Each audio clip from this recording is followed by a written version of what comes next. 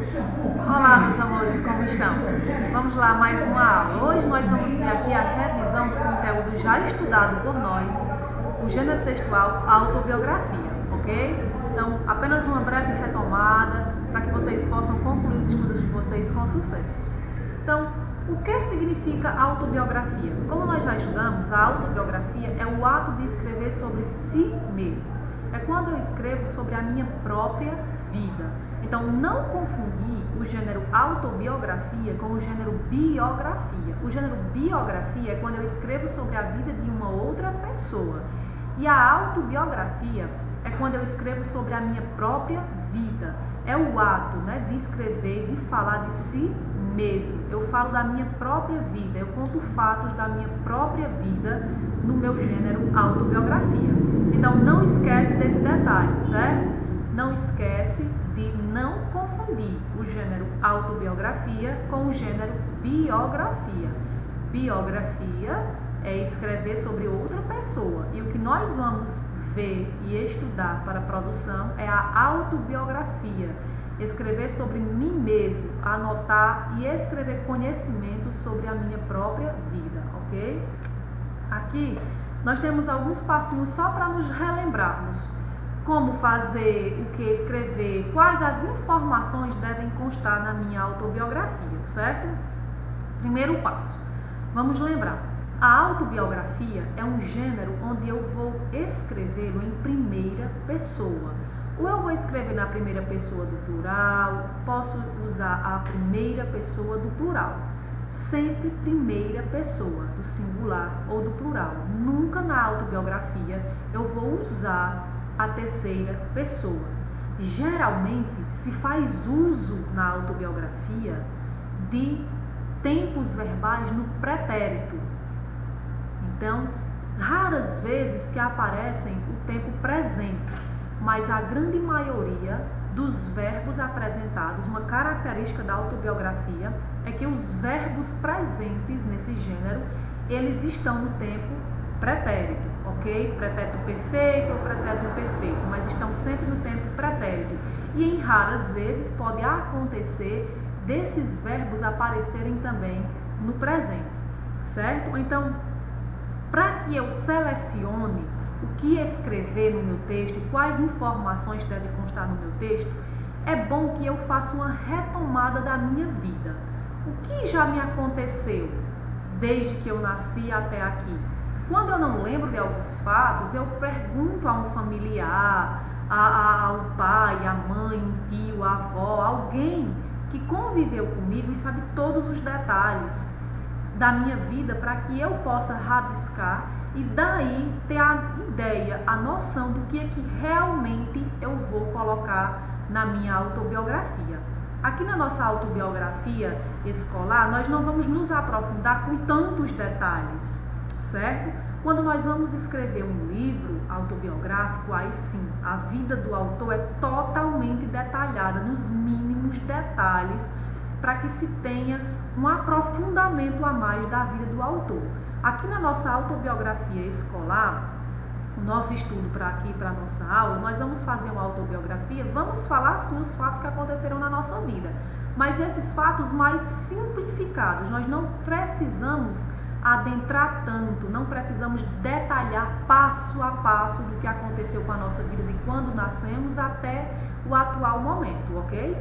Precisamos sim falar sobre a nossa vida, mas não com tantos detalhes. Então, para isso, é o que eu falo, que vocês devem falar com uma pessoa mais velha, o parente de vocês, pai, mãe, o irmão mais velho, para lembrar, quando você não lembrar de alguns fatos, para lembrar de fatos de sua vida que marcaram para que você coloque no seu texto e não esquecer sempre, sempre usar a primeira pessoa do singular ou primeira do plural.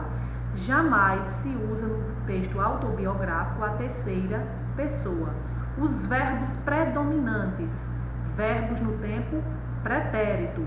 Não é que não possa aparecer verbos no presente, pode, só que são mínimos, são mais raros. E a característica marcante aí é que os verbos são predominantemente no tempo passado. Então, pesquisa sobre fatos da sua vida, algo que você não lembra, que vai facilitar a sua memória. Então faz uma linha do tempo que me aconteceu desde o meu nascimento até aqui, para eu ter a noção e saber o que eu vou escrever na minha autobiografia, certo? E aí, para dar uma lembrada a mais, você pega um papel e você vai escrever alguns fatos, tem algumas algumas indicações aqui do que você escrever para que você possa dar início à produção do seu texto. Então você deve iniciar aí, lógico que são coisas que vocês sabem de letra, não é? Mas só para vocês ter aquela retomada maior e saber exatamente onde colocar os acontecimentos, vocês vão notando aí em algum lugarzinho, rabiscando para depois passar limpo e fazer o texto final. Então vocês colocam o nome, o nome completo, tá certo?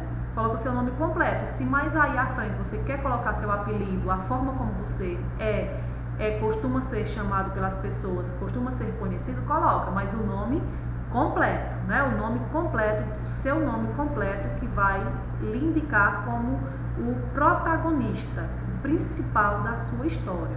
O local, a data de nascimento, onde você nasceu, qual estado, qual país, a sua idade atual, quantos anos você tem. Então você escreve também no cantinho para ficar fácil para você. Onde você estudou ou onde estuda. Muitas vezes tem uma pessoa, aquela, aqueles alunos que eles estudam a vida toda em um único colégio, outros não, que precisam mudar de cidade, vão morar em outro lugar, é bom indicar também. Se estudou em outra escola, indica. Onde estuda atualmente, indica também. Onde viveu, onde vive. Mais uma vez, há pessoas que não moram somente em um lugar, já tiveram a oportunidade de morar em outro lugar. Então, há a menção, se achar necessário, escreve aí no seu roteiro. E depois, quando for passar limpo, você vê onde vai se adequar cada uma dessas situações para que você coloque dentro do seu texto, tá certo? Então, onde você já viveu, onde você vive, isso no caso, onde viveu, de alguém que já morou em outro lugar, a não ser a cidade atual onde mora. É, os fatos mais importantes da sua vida. O que mais te marcou, aquela coisa marcante aquilo que ficou marcado para sempre em sua vida. Então é bom falar desses fatos, fatos marcantes, aquilo que marca, que vai levar para o resto da sua vida. Principais realizações. O que você já fez que te deixou poxa, que coisa legal que eu fiz, isso aqui vai servir para a minha vida inteira, isso aqui eu vou levar comigo sempre, porque eu fiz isso, é uma grande realização para mim. Então, tenta buscar esses fatos. O que gostava de fazer na infância, talvez, é, o que gosta de fazer atualmente, o seu lazer, o que é que você gosta no, nos seus momentos de lazer, onde você gosta de ir, o que gosta de fazer, com quem você gosta de estar. Então, fazer essas anotações é de fundamental importância para que você tenha uma linha do tempo de todos os fatos ocorridos na sua vida. O que mais gosta de fazer fora da escola? Quando você não está na escola, quando você sai da porta da escola, que vai para a sua casa ou outro lugar onde você esteja, o que você gosta de fazer quando não está na escola? Então, nota esses, a, a, essas avaliações também. Esporte. Eu gosto de algum esporte? Qual é o meu esporte preferido? O que eu gosto de fazer? O que eu gosto de praticar? Se eu não gosto de nenhum esporte, tudo bem, mas se eu gosto, como eu falei, isso aí não é que tem que ter todos esses elementos lá. É apenas para lhe ajudar a fazer uma breve retomada, montar uma linha do tempo sobre os fatos da sua vida, para que aí sim você dê início à sua produção e veja o que é pertinente que você coloque dentro dela, ok? Sonhos para o futuro. O que é que eu sonho? O que é que eu quero para o meu futuro?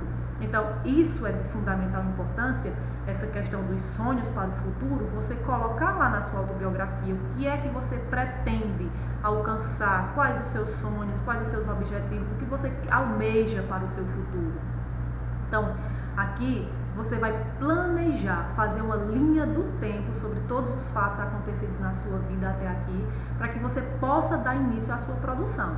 Lembrando que o tópico número 1, um, seu nome completo, realmente deve constar lá no seu texto, certo? Então não esquece de constar o nome completo. Se eu quero indicar um apelido, eu indico também o apelido, mas o meu nome completo precisa estar lá. O local onde eu moro, onde a data de nascimento, quantos anos eu tenho, a cidade, estado do país onde eu vivo. Então, esses aí são essenciais lá no seu texto. Os demais passos é para você lembrar, ver a sua linha do tempo. Se eu quero colocar todos eles dentro do meu texto, eu coloco mas adequando ao que eu vou falar, tá certo?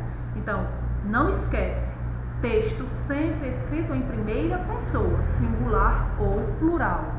Não se usa terceira pessoa, os verbos predominantemente no tempo pretérito. No tempo presente vão aparecer, só que não com tanta frequência. Característica marcante é dos tempo, do tempo verbal pretérito, ok? Então, nós vamos ver agora um texto que é um exemplo de uma autobiografia. É, esse texto foi escrito por uma professora, né, a Cláudia Martins, e ela escreveu essa autobiografia. Então, não é que essa autobiografia seja dela, mas ela escreveu esse texto como um exemplo de uma autobiografia. Então, vamos lá fazer a leitura dela e encontrar alguns dos elementos vistos por nós, tá certo? O título é Minha História. Sou João Luiz Santos Amorim, nascido no dia 15 de setembro de 2005, na cidade de Salvador, estado da Bahia, Brasil. Mudei-me com minha família para a cidade de São Paulo aos seis meses de idade, em 15 de março de 2006. No início, naquela cidade desconhecida não foi fácil, mas com o passar do tempo fomos nos adaptando e construindo nossa história.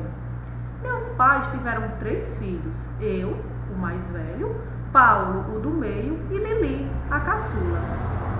Gosto muito dos meus pais, irmãos, avós, tios, primos e de toda a minha família. Somos felizes e unidos. Atualmente, estudo na escola Dom Pedro II, na zona leste da capital paulista. Gosto de me divertir brincando e jogando bola com os amigos da escola e os vizinhos. Gosto de aprender coisas novas, estudar, fazer os deveres de casa e tirar boas notas. No futuro, quero ser professor de educação física e treinador de basquetebol. Esta é a minha história.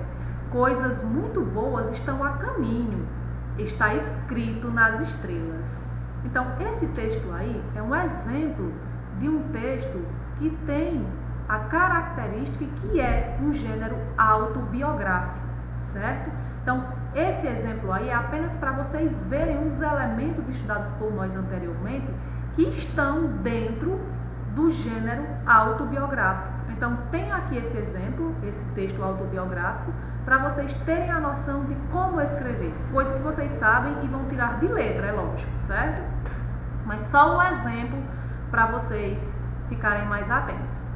Espero que tenham bons estudos e que logo estaremos juntos novamente.